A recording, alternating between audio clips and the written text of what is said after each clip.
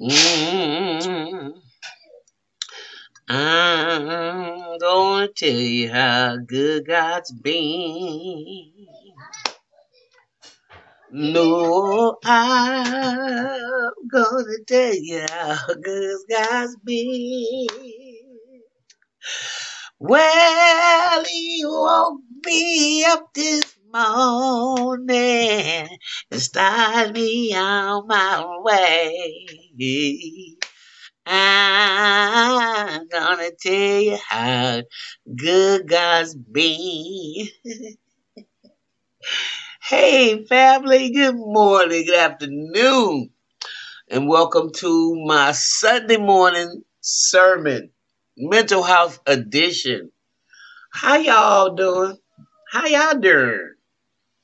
Well, I hope all is well in your world. Um, I hope most of us have gotten through this weekend without somebody in our families being uh, desecrated or assassinated. Um, but for those of us in the family who have, my condolences go out to you. My my heartfelt sympathy go to you, and um, let's just keep praying that uh, God awakens a sleeping giant in our community because um, there's just so much that we need to take responsibility and ownership of. Um, and um, there's so many of us, in my humble opinion, who have been utterly driven mad that uh, you know we we we're going to have to come to the realization that you know only a God can fix them. But in the meantime, we can't allow them to prey off others. Okay, but with that being said, with that being said, um, my conversation tonight is I had to get into it because I got a lot of upset people when I did the video about Reverend James Cleveland. Y'all got so mad at me that it took a minute for me to, um, you know, really get to address some of the uh, comments. However, I will, and I hope to be able to do a live stream about this. Matter of fact, I'm gonna do a poll soon as I vote, and I'm gonna let y'all tell me uh, if we should do uh, um, uh, you know, a survey. Do a survey of when if we should do a live about this because, in my opinion, it's so many people in our community in denial. It is so many people. So, and and what am I talking about? Um,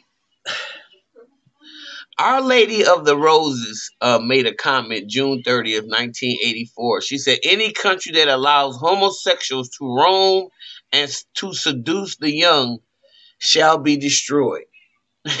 okay? Now, I want you to remember that. now, according to my knowledge, has been all gay people all through time. This is not a new phenomenon. However, most of y'all want to act like it is. Okay? And like I said in so many other uh, videos, most people that are considered, I'd like to say same sex relationships or um, non conforming gender loving relationships, I um, have noticed that most of them have kids. So now, how do you talk about that? Is there just black and white or is there a gray area here? Because all the choir directors I ever knew growing up, they're what you uh uh would be termed a sissy. Okay? So earlier this month, this is an interview I just just picked up and I I just want to read it because I'm not too familiar with this uh, singer songwriter. I've heard some of her music, but I don't know her like I know with James Cleveland. Okay, but earlier, anyway, an interview with Chris, Christianity Today singer songwriter Jennifer Knapp confirmed what a lot of people in contemporary Christian music have suspected since she ascended to popularity over a decade ago. She's gay. Since then, Knapp has continued to talk openly about coming out in Christian music, including an um, appearance on a TV show where she got caught between King and a fundamentalist preacher in what Candace Chellew-Hodge has not just unjustly described as an immoral debate about homosexuality. Um, that Knapp, as Hodge also notes, held her own in a debate in the debacle of a discussion that King blunderly uh, presided over is no surprise given how deftly she deflected the Christian Today interviewer's repeated attempts to describe her of coming out was as part of a larger struggle with homosexuality. She said, um, It never occurred to me um, that I was in something that should be labeled as a struggle, Knapp said. The struggle that I've had has been with the church acknowledging me as a human being. Did you hear that? The struggle that I have is with the Christian church that is labeled uh, me pretty much a thing. uh, anyway, Knapp's response echoed that of another gay Christian singer, uh, the black gospel uh, performer Tone, who came out in a television interview and um, uh, have you a struggle with homosexuality? Is what the interview asked Tone. Um, and uh, uh, not struggle. Tone replied, "It wasn't a struggle. uh, it wasn't a struggle at all. It may be difficult for people unfamiliar with evangel- evangelical popular culture to understand how and why this kind of thing matters so much. It's not because Tone and Knapp are the first gay singers in Christian music. Well, at least as far back as the 1940s, the gospel guitarist Rosetta Tharpe was, as Gayle Wald noted in her excellent biography of Sister Rosetta, rumored to be something more than just friends, with the performer known as Sister Mar- Katie Marie. More prominently, James Cleveland's homosexuality was an open secret for most of his career and the last half of the 20th century. And the king of gospel died in 1991 amidst rumors that he had infected a much younger man with HIV and that he himself had died of the AIDS related complications. More recently, in 2004, the Southern gospel tenor Kirk Talley was outed after FBI arrested a man who tried to blackmail Talley with indiscreet photos the singer had posted of himself on a gay chat site. In 2006, a photo of the songwriter and gospel music imperial Bill Gaither embracing the lesbian songwriter Marsha Stevens and her partner generated such blowback from Gaither fans that Gaither issued a public statement denouncing homosexuality and lamenting Stevens' sad life as a lesbian. Mm-mm-mm. What a hypocrite! Wow. In a, I mean, a few years later, in 2008, the soloist Ray Boltz, he came out after a long, successful career in CCM and inspirational music, and a 33-year straight marriage, citing the darkness of the closet and the torment of living a double life. Now, Okay. The torment, did you hear that? Of living a double life. These are only the most famous examples. Not for nothing has Bishop Yvette Flunder said that gospel music is gay music. But it's not just gospel. from traditional black and southern or white gospel to praise and worship and inspirational to contemporary Christian music, you can't swing a Dove Award, a Grammys of Christian entertainment without hitting upon evidence of the downtime, the line uh, to the piano players, backup singers, and other supporting musicians, choir directors, song leaders, songwriters, producers, and of course, managers.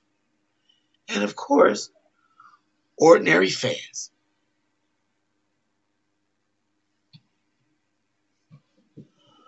I have been one of those fans as long as I can remember growing up with what the playwright Del Shores has called the Southern Baptist Sissy. A deeply closeted preacher kid who couldn't get enough of gospel music, whether listening to it, singing it, playing it on the church piano, or performing it on stage with others. For some time now, the thinking both within and from beyond the Christian music world has been that gay guys like me are attracted to the flamboyance of theatrically of Christian entertainment. Anthony Heilbut was probably the most prominent voice to assert this theory in his landmark history of uh, the black gospel in 1971. there he wrote that since gospel is theatrical and the theater is the paradigm for much of the gay life, that gospel has a special allure for gays. Mm-hmm. Um, more than a few Orthodox Christian music insiders would agree with Heilbut. Many of them would probably also call for unflagging vigilance lest the overabundance of homosexuals in Christian entertainment turn the Lord's music into Sodom and Gomorrah. Um, CPC another one here. Um, Sodom and Gomorrah, the musical. Tonéx's and Knapp's stories stand out in the queer history of Christian music because they directly challenge this heterocentric vision of the misfit gay using the stage to sub- sublimate his forbidden sexual proclivities. Openly gay and Christian, Toney and Knapp insist on the right to come out from among them as the Apostle Paul put it in his letter to the early church at Corinth, be ye separate in ways that are truly um, of the totality of who you really are. In this way, they actively resist being inscribed into evangelism's punitive discourse of the self embattled homosexual. Now, my question is if the tenet, the first tenet in the heart of the Christian tenet is to love, love. Now, how can you say and claim that when you're homophobic and you speak all manners of evil against people who um are, homo- are homosexual or gay? Um, I don't understand that concept. Now, I also don't understand the concept of defending people or getting angry because I made a video about a gay um, James Cleveland. And it, just like the article said, I wasn't saying that to dog him out. I was really saying it. I'm saying because I think all this suppression behavior like this and all these people coming out against people like this is the reason why diseases spread, is the reason why people have to be in the closet in the damn first place. And it's amazing to me how ignorant some people can be when they think gay people is going to rape their son, but they don't think it's just as damaging for a grown man to sleep with a nine year old and they don't see that as pedophilia. and that just because a person is gay, if, if he's a, it does not uh, uh, uh, um, automatically make him a pedophile. Okay, go get it uh, painted. Why is that hard? A hard concept to even deal with. I, to me, it seems so elementary.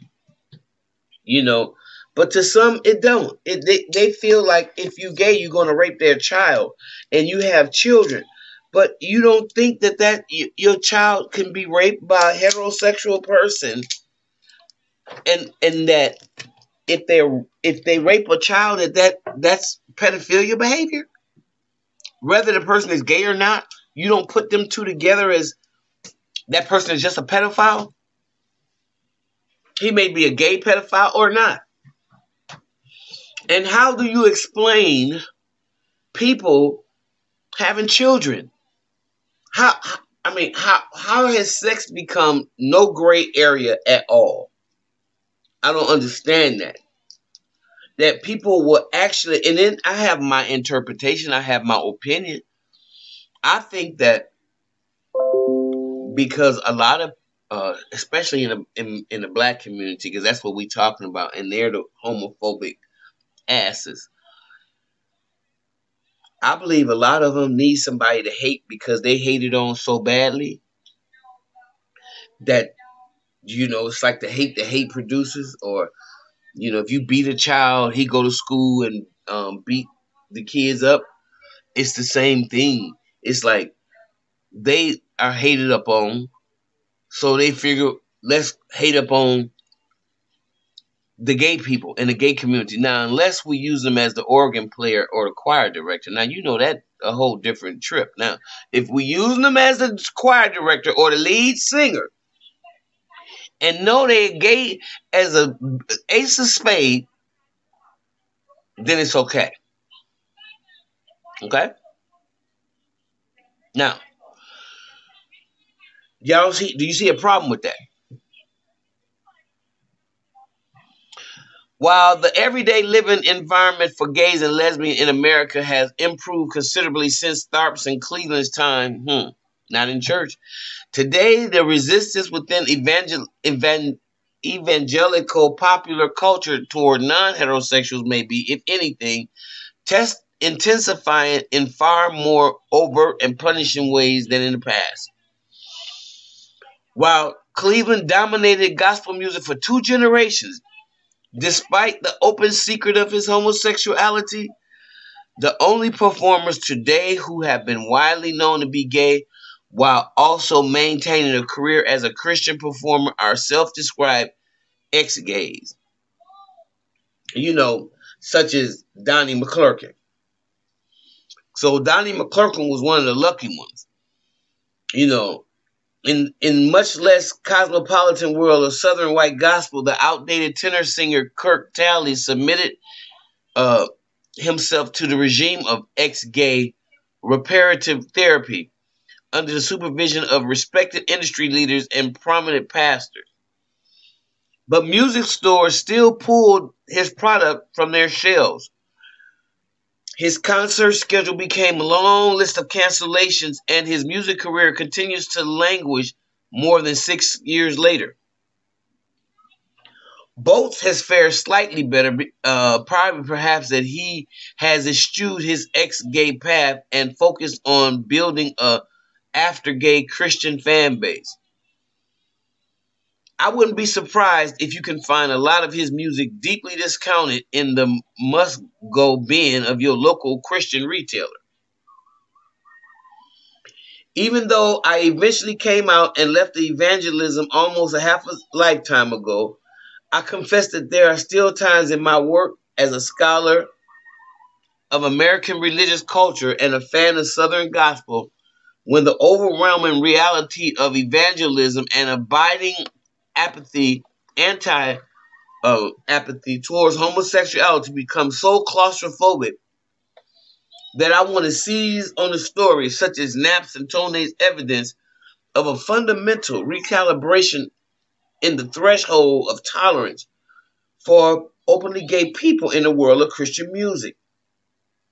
Yet, as much as I'd like to be right about this, the reality is that the fate, to me, is that um the fate of professional Christian musicians who come out is mostly fixed the moment they speak their truth. Which is why no one I know expects a comeback from Tone or Knapp in the Christian music. At some level, they both seem to acknowledge as much, releasing post coming out crossover albums aimed at such secular music because the gospel music don't want to hear it no more. R&B and hip hop audiences as Christian music fans. Understood then within the wider context of contemporary evangelism, these coming out cases illustrate something less uplifting, but more important to any meaningful understanding of religion in American culture. Namely, that the more accepting secular society becomes of non heterosexuals, the more aggressively protective evangelism is of its sense of itself as a haven for traditional values and life ways. Not least of all of them an absolute prohibition, prohibition, prohibition, I can't say the word, of homosexuality as defining feature of Christian as they practice it. Fortunately, as the song goes, as an old Bill Gaither tune puts it, while the ideological center of evangelist culture may well hold steadfast in its opposition toward homosexuality for some. The time has come, the critical mass of culture consensus against gays shrinks ever so slightly every time people like Tone and Knapp insist publicly on being true to who they are. Without surrendering their stake in Christian music, and without surrendering themselves. And is concerned with all alluring mysteries of the soul, striving after grace and salvation. This, I think, is the true value of the sacred music of American um, Protestantism. It's marvelous, incantatory, ever drawing capacity to transcend uh, orthodoxy's efforts to control what it means or to put limits on the redemptive work it accomplishes for all of those who find the key for their souls to sing in it the gospel. Hmm. Um, now, some of these things that was made from this Our Lady of Roses, um, um, it, it, you know, like I said, it, it is pretty homophobic, and it says things like, um, "Are you so blind that you do not recognize the acceleration of sin among you? Murderers abound, three thievery, all manner of carnage, destruction of young souls, abortion." homosexuality condemned from the beginning of time by the eternal Father. Yet, sin has become a way of life. Sin is condoned now, even unto the highest judge of your land and your lands throughout the world. You have sown, as you have sown, so shall you reap. Sin is death, What is it? Sin is death, not only of the spirit, but of the body. And wars are a punishment for man's sin, his greed, and his avarice. All right. So, what y'all think?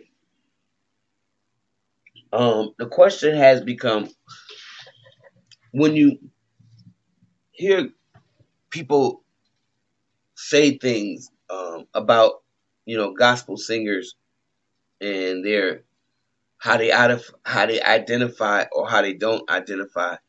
Why is that a problem so much, especially in a organization or entity that's supposed to be so in, inundated with love? Okay, and not just love for um, you know people that's like you but about your love for people that's different. And do you think that if people could come out and be themselves about their sexuality, do you think that it will be less tension and stress in the situation? I don't know. Those are things I challenge y'all with. Those two questions, because I think they're very important. Do you think that they were able to come out and be free about who they are? Would they be so re- repressed? And if people would accept who they are, whether they agree with it or didn't like it or anything, it will be just like anything else. Like like a lot of people don't like drunks. You know what I'm saying? But they don't try to keep the drunk, you know, unless he's drunk, out of social circles and things of that nature. So what do you think about that? Let me know. So, with that being said, that is the end of the Sunday morning sermon. if you like what you hear, please like, subscribe, and share the channel. And I'm going to see you in the next video. God bless you.